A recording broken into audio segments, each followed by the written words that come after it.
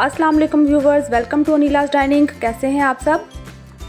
आज मैं लाई हूँ बहुत ही डिलीशियस और खुशबूदार सिंधी बिरयानी की रेसिपी। तो आज बिरयानी लवर्स बहुत ही खुश होने वाले हैं। मेरी फैमिली में तो सभी मेरी बिरयानी के दीवाने हैं तो चलिए स्टार्ट करते हैं। बिस्मिल्लाहिर्रहमानिर्रहीम। बिरयानी का कौरमा बनाने के लिए मैंने आठ अदद जो है, वो मीडियम साइज़ के प्याज लिए हैं और उनको इस तरह से बारीक बारीक मैंने कट कर लिया है। पाँच अदद मैंने टमाटर लिए हैं। जो कि मैंने फ्रीज़ किए हुए थे और इनकी मैंने स्किन उतार ली है। One tablespoon ginger garlic paste जाएगा और वन कप ये योगर्ट है। थोड़ी सी इमली और थोड़ा सा हम सूखा आलू भाड़ा लेंगे। सिंधी बिरयानी मसाले का एक पैकेट और थोड़ी सी हल्दी और साथ में साबुत जो मिक्स गरम मसाला होता है वो जाएगा। वन के जी चिकन और वन के जी ही राइस मैंने धो के भिगो दिए हैं।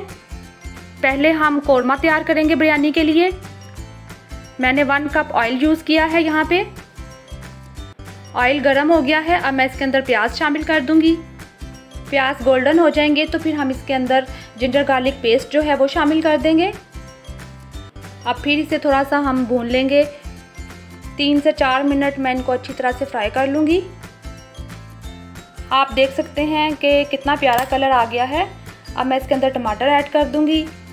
और अब हम अपने तमाम स्पाइसेस जो हैं वो इसके अंदर डाल देंगे। और साथ में सिंधी बिरयानी मसाले का जो एक पैकेट है वो भी इसमें शामिल कर देंगे। मैं साथ में आपको कुछ इसके सीक्रेट्स भी बताऊँगी कि जिसकी वजह से आपकी बिरयानी जो है वो बहुत ही टेस्टी और खुशबूदार बनेगी। कभी कभी हम कहते हैं ना कि फ़लाँ की बिरयानी खाई तो वो इतनी टेस्टी क्यों थी? ऐसा जायका हमारे घर में क्यों नहीं आता? तो कुछ की पॉइंट्स होते हैं, अगर आप उसको फॉलो करें तो आपकी बिरयानी भी बहुत टेस्टी बन सकती है। तो चलिए तमाम स्पाइसेस हमने अच्छी तरह भून लिए हैं, अब हम इसके अंदर चिकन ऐड करेंगे। चिकन का कलर जो है वो चेंज होने तक हम इसको इसके अंदर फ्राई करेंगे। अब मैं इसके अंदर आलू भी जो है वो शामिल कर दूँगी और साथ में जाएगा एक गिलास पानी ताकि हमारा चिकन और आलू जो है वो सेम टाइम पे ही जो है वो पक जाए। तो चलिए चेक करते हैं। पानी जो है वो काफ़ी ड्राई हो गया है। अब मैं इसके अंदर इमली और आलू भाड़ा भी शामिल कर दूँगी। और साथ में मैं इसमें डालूँगी वन कप दही का। दही से भी बहुत अच्छा टेस्ट बनता है कौरमे का। तो अब इस स्टेज पे मैं इसके अंदर थोड़ा सा ऑरेंज जो फ़ूड कलर होता है वो शामिल करूँगी। ये बड़ा अहम पॉइंट है कि जो असल सिंधी बिरयानी की रेसिपी है, उसमें फ़ूड कलर जो है वो हम कौरमे के अंदर ही ऐड कर देते हैं। इससे हमारे आलू और चिकन के ऊपर भी कलर आ जाता है बहुत अच्छा सा। और साथ में ही एक और सीक्रेट बताऊँगी, इसका टेस्ट जो है वो डबल करने के लिए आपने इसके अंदर दो तीन ड्रॉप जो है कैवरा एसेंस के भी शामिल करने हैं। इसके बगैर और आलू के बगैर तो सिंधी बिरयानी बनती ही नहीं। आप भी मेरी इन टिप्स को ज़रूर फॉलो कीजिएगा और फिर देखिएगा कि बिरयानी कितनी मज़े की बनती है। और पूरे घर में भी इसकी खुशबू ज़रूर फैलेगी। पानी भी हमारा बॉयल हो गया है। अब हम इसके अंदर चावल डालते हैं। चावल हमने उसी वक्त इसके अंदर शामिल करने हैं जब पानी हमारा अच्छी तरह से बॉयल होना शुरू हो जाए। ये मैंने करी पत्ता और दालचीनी की स्टिक और एक दो लौंग इसमें शामिल किए हैं। अब मैं इसके अंदर जो है नमक डाल दूँगी। दो तीन चम्मच। राइस हमने फुल डन नहीं करने। मैं आपको दिखाऊँगी कि किस स्टेज पे हमने इन चावलों को उतारना है और चूल्हा बंद करना है।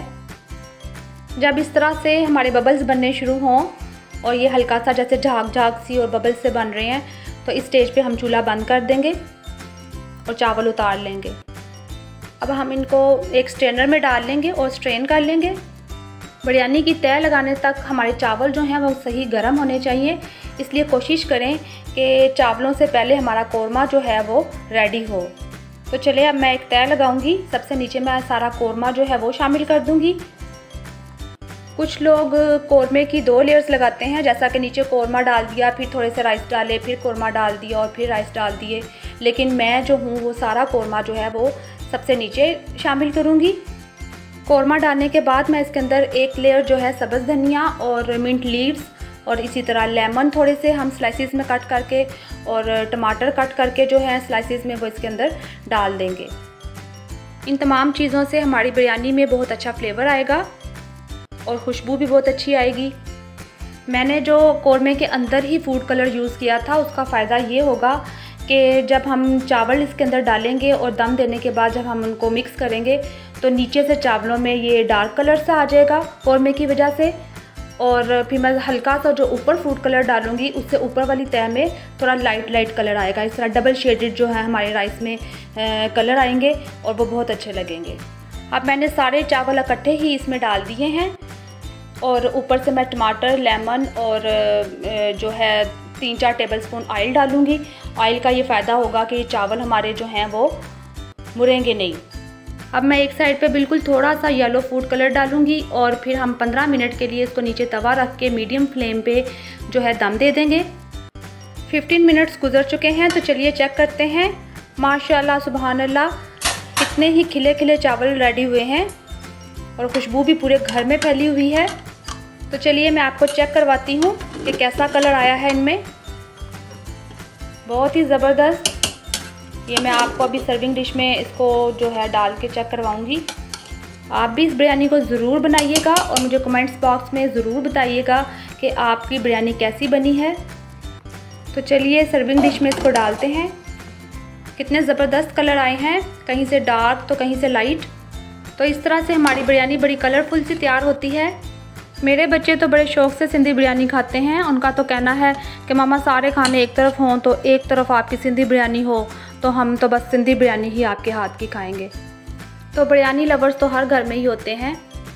तो आप भी इसे बनाइए और इसको बनाने में अगर आपको कोई कन्फ्यूज़न है या कोई आपके माइंड में कोई क्वेश्चन है तो आप मुझे कमेंट्स बॉक्स में मुझसे पूछ सकते हैं।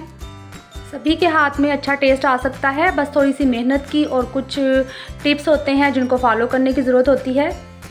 मेरी आपसे रिक्वेस्ट होती है कि अगर आप मेरे चैनल पर नए हैं तो प्लीज़ मेरे चैनल को सब्सक्राइब करें और इसके साथ जो बेल आइकन है, उसको भी दबाएँ और वीडियो अच्छी लगे तो लाइक करें और शेयर करें। तो चलिए, आपको भी इंतज़ार होगा एक अच्छी सी बात का तो उसी अच्छी सी बात के साथ हम वीडियो का एंड करते हैं। गलती हो तो मान लें और गलत फहमी हो तो दूर कर लें। यही अच्छी ज़िंदगी गुजारने का सलीका है। फिर मिलेंगे एक नई रेसिपी के साथ। अल्लाह हाफिज़।